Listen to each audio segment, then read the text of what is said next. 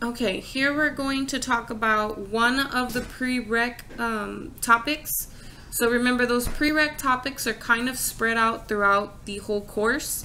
Um, it's not uh, designed in a matter that you'll see all the prereqs first before you start chapter R. The way they designed it is these are kind of like just in time topics. So these will happen as you're working on stuff. And you'll notice that this is a prereq if you do not see that little um, badge. I forgot what it looked like. Let me see. Let me, give me one. Okay, it looked like a little diamond, kind of like the Superman symbol without the S in it. So when you see this, that means a gold topic. The only time you won't see that symbol when you bring down the drop down with all the topics in there. Um, the only time you won't see that is if it's a prereq topic, okay? And this one will be um, needing you to complete in order for you to move on with the chapter one material, okay? So we're gonna solve equations zero, one, or infinitely many solutions. So these are basically linear equations where something funny happens at the very end and usually don't see that funny thing happen until you get to step four.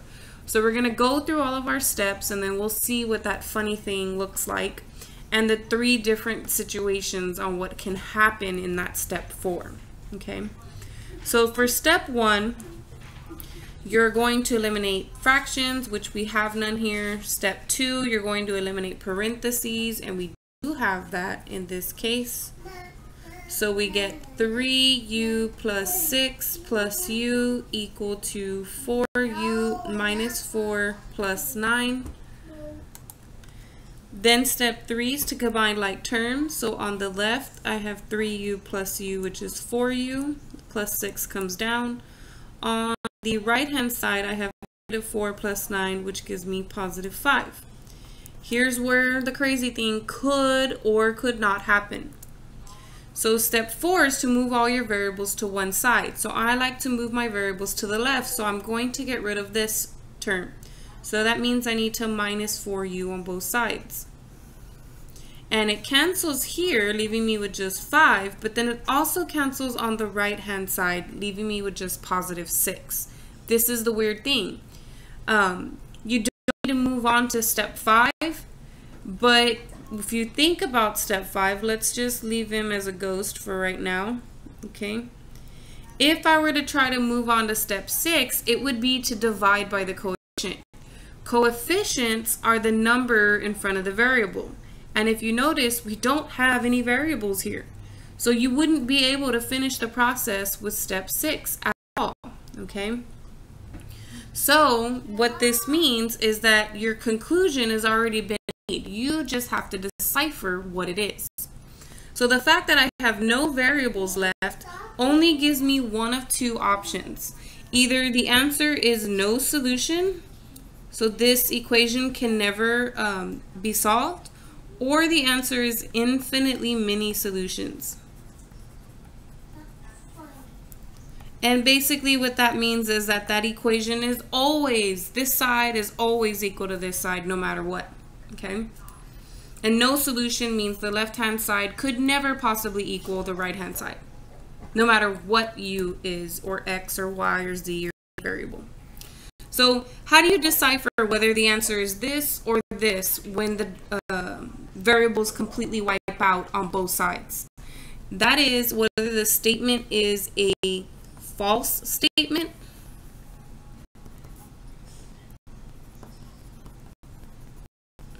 or whether it is a true statement. And so then let's look here because this is the statement.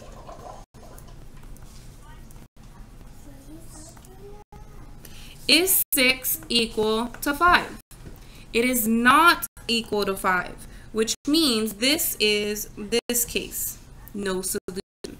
So my answer here would just be no solution.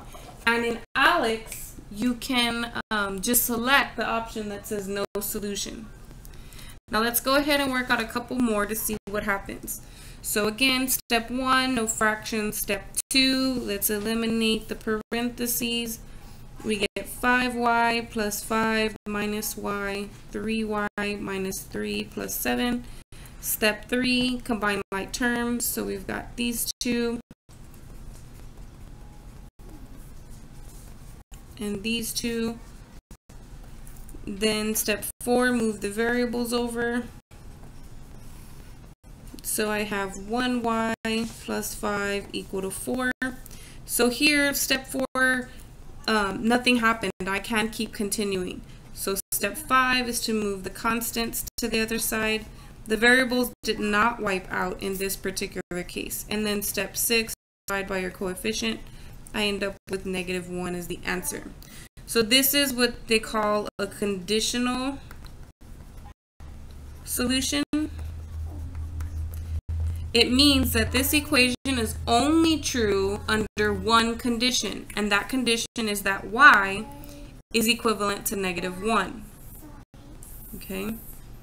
Whereas here, there's no solution at all. Here there is one, but it's very specific. And then the other one is um, when you have infinitely many solutions. Okay, so that's probably what this one, what's going to happen here, but let's check it out. So again, no fractions. Let's do the parentheses. So we get 4v plus 4 minus 7. 3, oh, I have two different variables here. It should be y, not v. So 4y, and then 3y minus 3. Let's combine like terms on both sides. So we have 4y minus 3, and here we have 4y minus 3. When we go to step 4 to move the variables over, we have to minus 4y on both sides. That happens to wipe out the variables on the right, but it also happens to wipe out the variables on the left. And so there's no reason to continue when that happens. That's the part where you need to start analyzing what you have. Okay, so once you move the variables to one side, you have one of two things that are going to happen. Either the variables are going to completely wipe out and then you have to decide which of these two answer or there's going to be variables left and you have to continue through step 5 and 6. Here my variables canceled out, but I do have a true statement because negative 3 does in fact equal negative 3.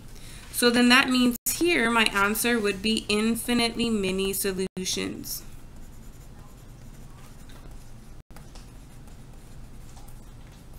That means it doesn't matter what x value I plug or what y value I plug in here and what y value I plug in there. As long as I'm plugging in the same y value everywhere, it will come out to be equal. The left side will equal the right side, no matter what y you plug in.